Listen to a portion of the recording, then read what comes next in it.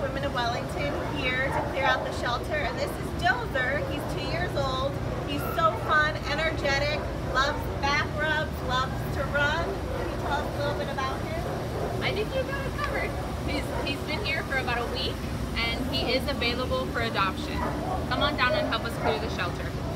And remember, adopt, don't shop.